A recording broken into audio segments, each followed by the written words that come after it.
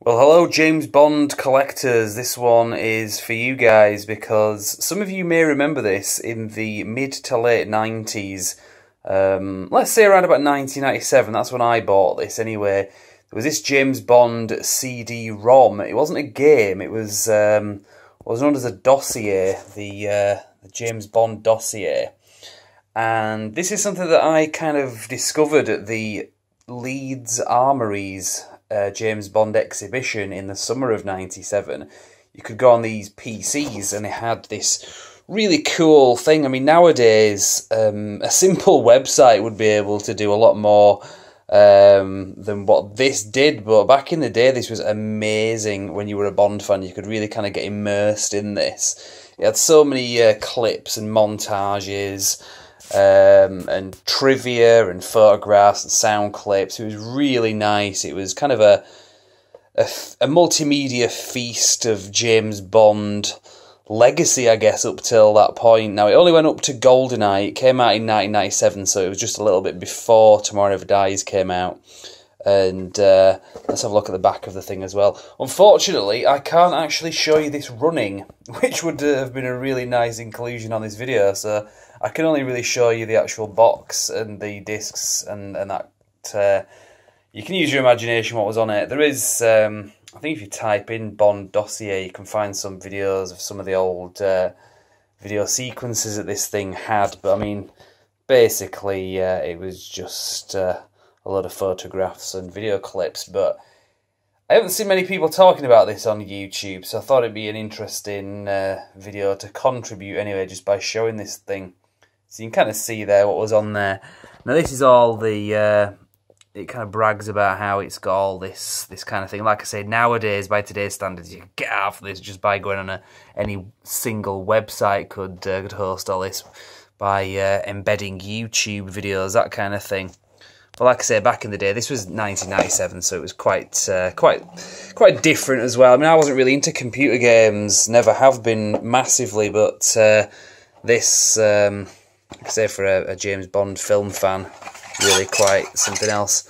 So it came in this two disc set anyway, and you can kind of see the same same kind of general uh, information on the back here that was on the back of the actual cardboard box. You can see some kind of shots on there as well.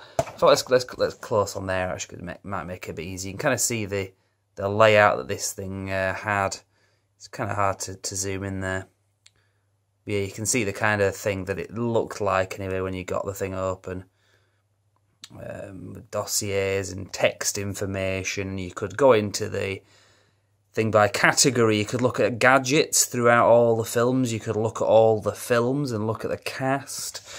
Um, so let's have a look at the actual discs as well and the uh, some of the other instructions that you got with this thing. So uh, two disc set, like I say. You got this booklet, which I will have a quick look at in a moment. And uh, on the other side, you got this disc as well, and that was just kind of a, middle part there. You might have seen a, a, bit of paper in there. That was the uh, the receipt from when I bought this back in uh, 1997. Uh, seem to remember skiving off college one day and rushing over to Leeds to buy this thing, kind of on a whim. Uh, cost me £30 there, bloody hell. Virgin Megastore, that goes back. And that was obviously the company that made the thing. This was the box, uh, kind of fits in there. That. But let's have a look anyway. These are discs. Let's just have a quick look there. Uh, disc 1 and 2 is a 12 certificate because obviously it featured some video clips from GoldenEye, which was the only film at the time. Oh, actually, no, Licence to Kill 15 certificate. And it did feature some, some things. So, sorry, let's have a quick look at the booklet. Let's just get down so I can uh, have a closer look. So you can kind of see some of the technical requirements there as well. If you want to pause this and have a proper read of this thing, I'll kind of show you each page for a few seconds just so you can get a good look um, at the thing as well. So you can kind of see how how it worked technically, um, kind of system requirements, that kind of thing. And one thing I do remember about this this uh, as well, it was really nice. It had an exclusive video with. Uh, Desmond Llewellyn, who, as we all know, played Q. That was the main screen, by the way, when when you went on the thing. So you kind of see how it works category wise.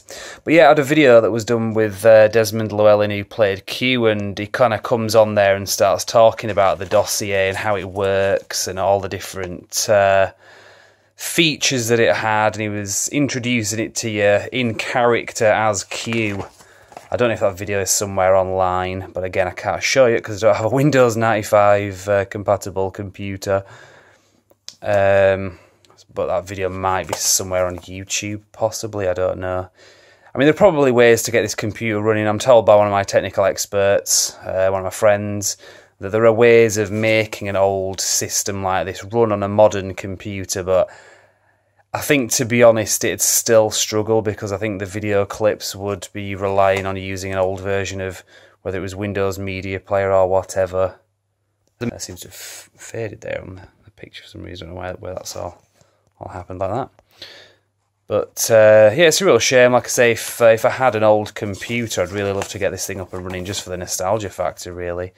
Um, like I say, you can see exactly how, how the thing worked. That was the main screen. You'd kind of hover the mouse over any of these. So obviously, you'd have James Bond himself, the women, the allies, the villains, the gadgets.